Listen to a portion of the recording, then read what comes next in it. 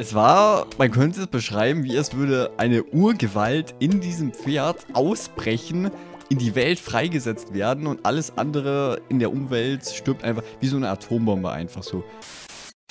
Pflanzen gegen Zombies. Die sabbernden Freaks rollen den Idioten, während die wankenden aus dem Altersheim entsprungenen Senioren von Blümchen abgehalten werden. Pflanzen gegen Zombies. Hallo und herzlich willkommen wieder zurück zu Plants vs. Zombies. Zombie. Zombie. Zombie. Das deutsche Wort Zombies ist schon ein bisschen ekelhaft, fällt mir gerade auf. Wenn ich so Zombies ausspreche. Ich, ich, ich schweife wieder ab. Ähm, hallo und herzlich willkommen zurück zu einem weiteren Video. Das letzte ist ja auch wieder so ein, zwei Tage her. Aber ich habe sowas zu meiner Verteidigung zu sagen. Ich hatte sehr wichtige Dinge zu tun.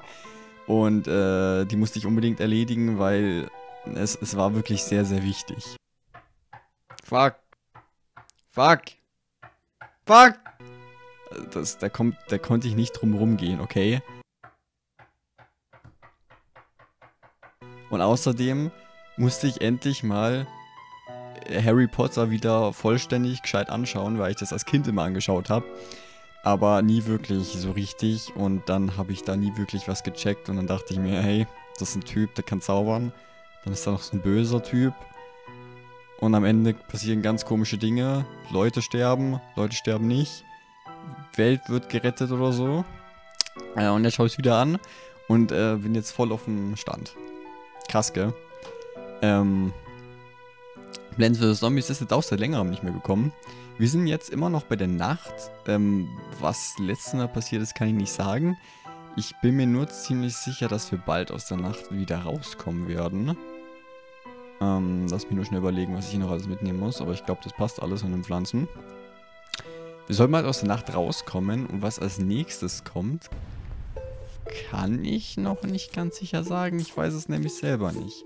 Uns fehlen noch eins. Also wenn man streng genommen sieht, dann fehlen uns, glaube ich, noch eins, zwei Dry Locations. Beziehungsweise Variationen von den Locations, an die wir schon waren. Bei, de bei denen wir schon waren. Ist es nicht schön, wieder hier zu sein? Wieder im Vorgarten äh, zahllos Zombieköpfe umherschmeißen, sie zerfetzen und äh, uns selber dabei zu beschützen? Ich weiß, es ist doch schön. Wer weiß, vielleicht will dieser Zombie nur zum Kaffeekränzchen kommen. Hier zum Beispiel, ich schlafe nur. Irgendwann mal wacht er vielleicht auf und denkt sich, hey, da, da ist ein schöner Nachbar, den will ich mal besuchen gehen und Hallo sagen. Aber was wir stattdessen machen, ist äh, komische Sporenpilze pflanzen und ich will immer noch nicht ganz wissen, was die Sporen im Zombie dann so machen. Das, der Gedanke daran ist widerlich. Sollst dich danach duschen, Zombie. Es ist nicht gesund, wenn du Pilzsporen in dir hast. Am Ende, uh, ist es dann wie bei The Last of Us, so diese Zombies, dass es nicht nur diese normalen, ich nenne es mir bald Walking Dead Zombies sind, die einfach nur nichts können, langsam rumgehen und ähm, wenn eine riesige Horde Zombie kommst, kommt, dann bist du auf jeden Fall tot, ansonsten eigentlich nicht. Und wir, mutieren die dann zu so The Last of Us Zombies, die dann so pilzmäßig umherkriechen und auf einmal voll krasse Special-Fähigkeiten haben. Das sollte wir verhindern. Also, nein. Bitte, bitte wasch dich danach, Zombie. Das ist... Wäre besser für alle Beteiligten. Weil, ich meine, wenn wir die jetzt hier so... Anführungsstrichen töten, ne? Sterben die dann wirklich? Oder kommen die dann einfach nur wieder? Ist der Zombie, der hier gerade kommt, sieht man meine Maus, ja. Ist das nicht vielleicht der genau derselbe, der uns vor drei Sekunden schon begegnet hat und bekämpft vielleicht nicht einfach dieselben, keine Ahnung, fünf Zombies? Wer weiß, wer weiß, oh fuck, ähm. Mm, weißt du was, ich mache jetzt folgendes. Den pflanze ich weg. Pflanz dich dahin. Das sollte besser klappen. Na komm, friss dich durch. Alter, die Augen. Was hat er genommen? La lass bitte die Drogen weg. Das ist nicht gut für dich.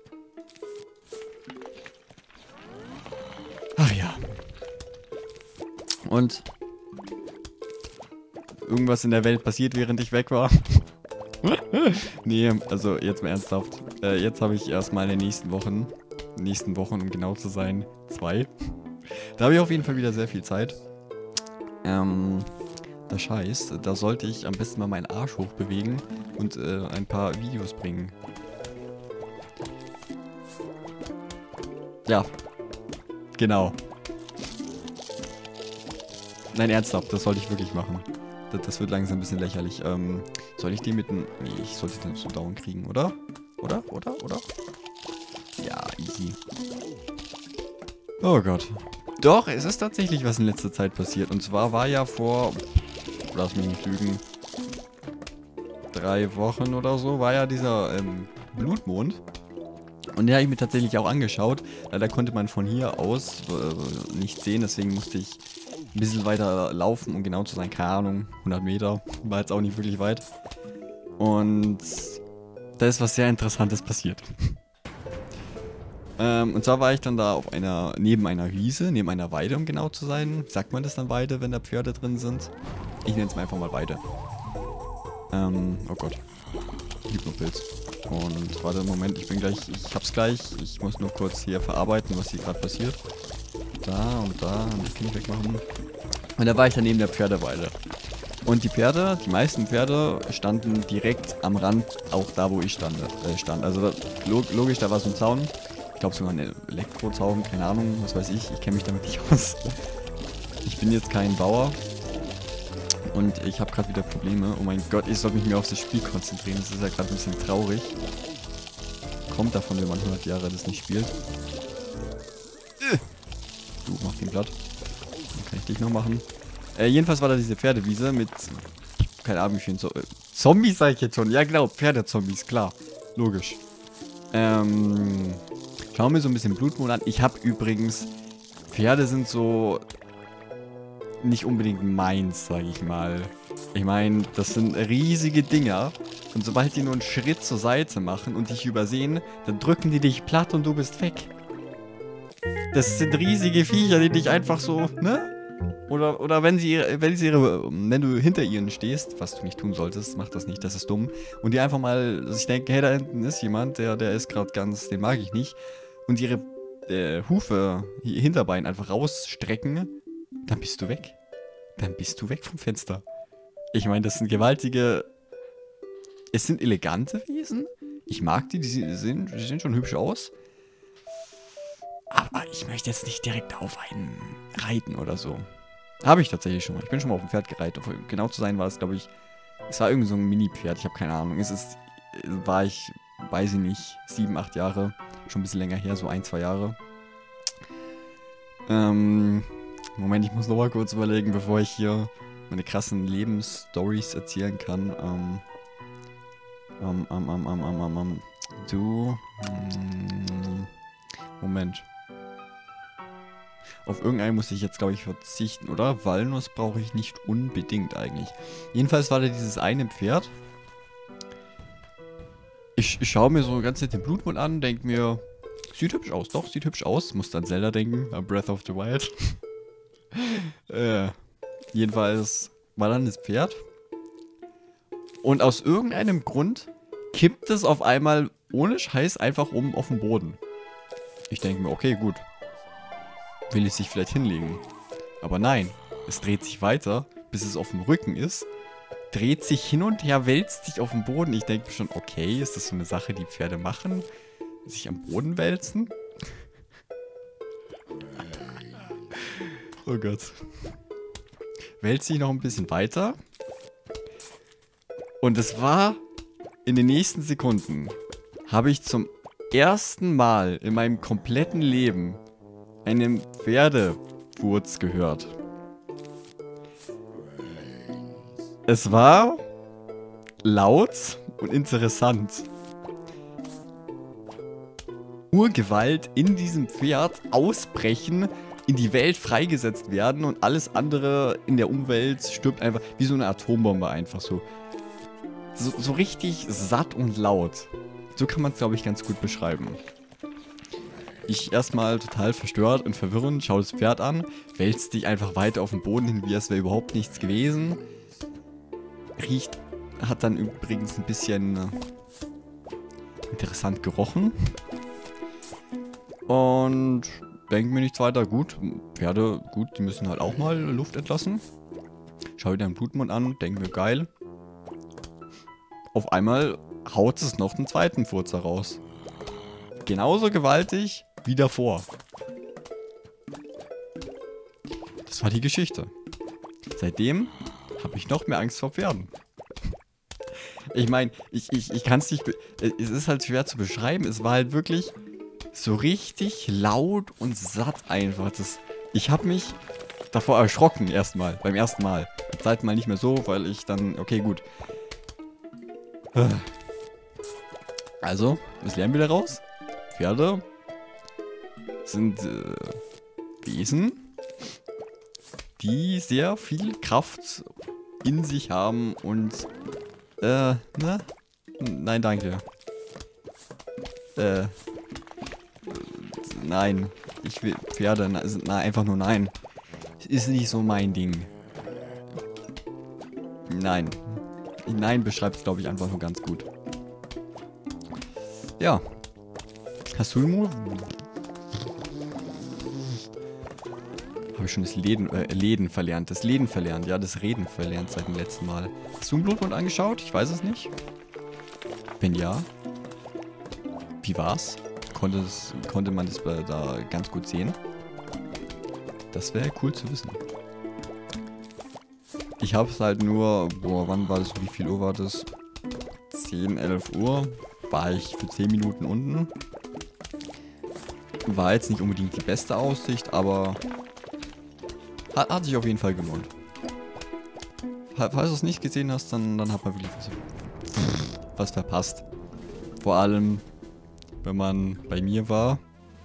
Da waren noch ein paar andere Leute aus dem Dorf. Und ja, da, da hat man definitiv etwas verpasst, wenn man nicht dabei war. Ich sag nur Urgewalt. Ich wette, irgendwo im Universum ist einfach, einfach ein neuer Planeten entstanden. Und dieser Urknall ist einfach im Pferd entstanden. Das, das, so funktioniert das, genau. genau. Genau so funktioniert das und nicht anders. Oder ist einfach ein zweites Universum entstanden durch diesen Urknall. Das wird noch mehr, ja doch. Äh. Dann kommt eigentlich der nächste Blutmond in 500 Millionen Jahren. Also, jetzt nicht ernsthaft gemeint, ich habe keine Ahnung. Weil das war ganz nett. Diese Mondfinsternis. Äh. Na. Zombies greifen immer noch zu den alten gleichen. Was ist denn gerade mit dem passiert? Wie, wie es würde gerade so irgendwie auf dem Schiff untergehen oder so sagen. Oh, ich gehe in meinem eigenen Schiff unter. Ich werde nicht fliehen bin loyal zu meinem eigenen Schiff und will dadurch sterben. Ich, ich weiß auch nicht warum. Ähm, was wollte ich gerade sagen? Genau, die Zombies, immer noch die alten Tricks. Ich weiß gar nicht, warum da gerade nichts Neues passiert. Normalerweise habe ich irgendwie Gefühl gehabt, dass alle zwei Level oder so, alle mindestens neue Mechanik, neue Zombies oder so mit ins Spiel gerufen werden. Also, ich meine, wir bekommen jede Runde, fast jede Runde neue Pflanze. Also, das sollte halt immer genug sein. Gleich haben wir auch die letzte Welle erreicht. Ist auf jeden Fall sehr spannend. Sehr spannend. Ich warte übrigens schon auf ein bestimmtes Level. Ich weiß gar nicht. Es müsste im normalen Abenteuer... Oh Gott, meine Stimme, was ist gerade passiert? Es müsste auch im normalen Abenteuermodus vorkommen. So ein bestimmtes Level, das ziemlich grauenvoll sein wird. Weil man um darauf vorzubereiten, sieht man 90% vom ganzen Spiel einen schwarzen Bildschirm. Das ist mein Ernst, man sieht einfach nichts. Ich, ich, ich frage mich jetzt schon... Ja. Das wird bestimmt spannend sein, zum Zugucken. Ein schwarzer Bildschirm. Ab und zu sieht man was, aber hauptsächlich ein schwarzer Bildschirm. Ja. Ähm... Große Welle. Hallo? Bitte? Eventuell? Nein? Okay, gut, dann äh, machen wir das. Dann zögern wir das Ganze einfach noch für 100 Jahre raus. Habe ich kein Problem damit. Oh, oh, Moment mal.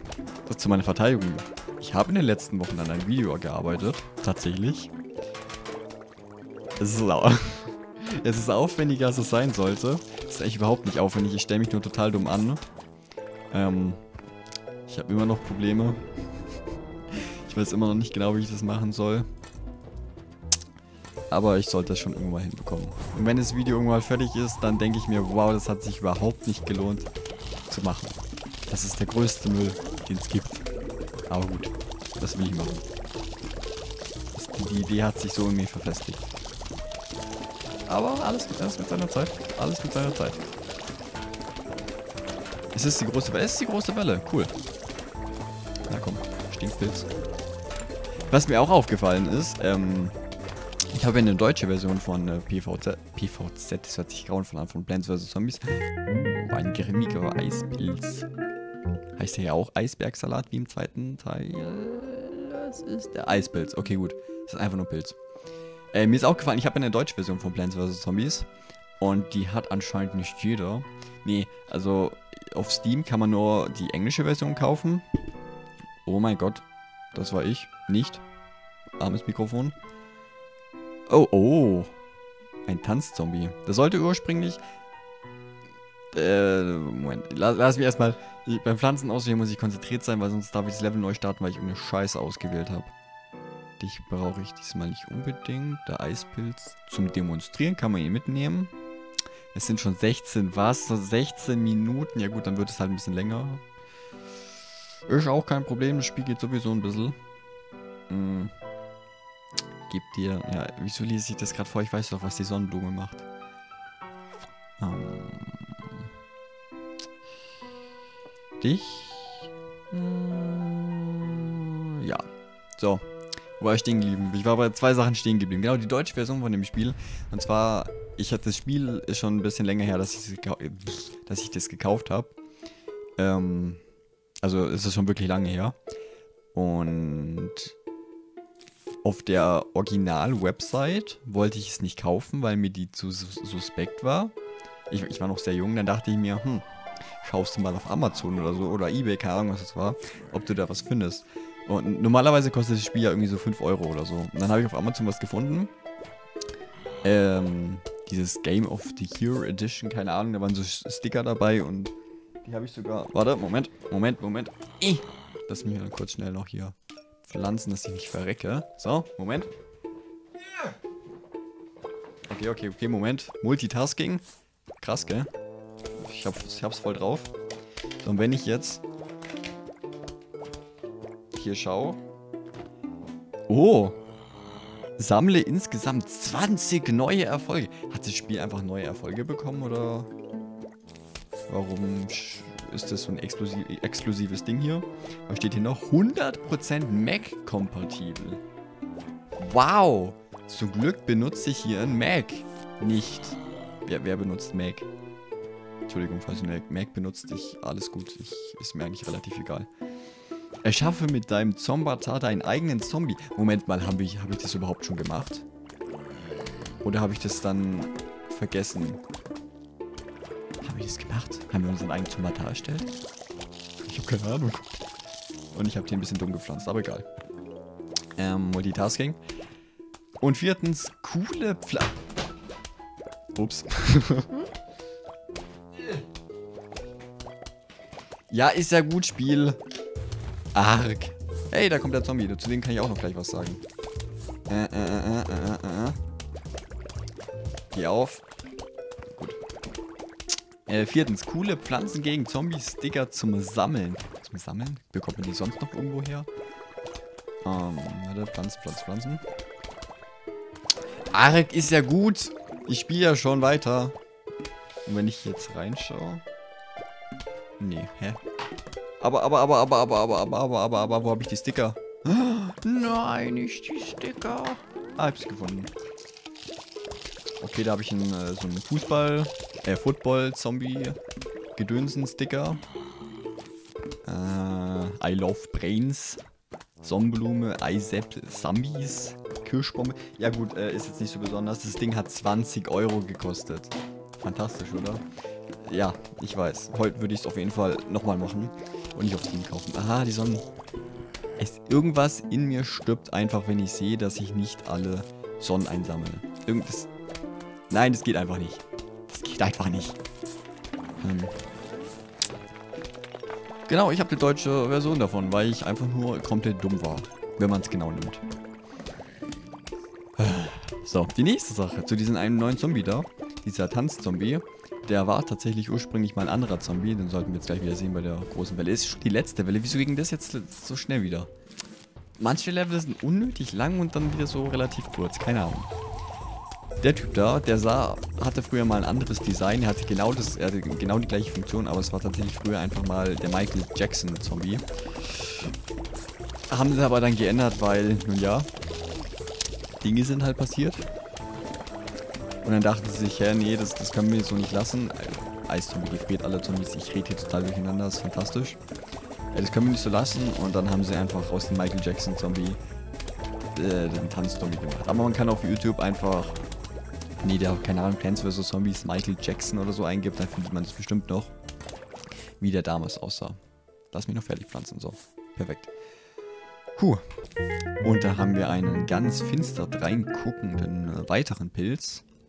Der 125 kostet, und zwar der Unheilspilz. Zerstört einen großen Bereich und hinterlässt einen Krater.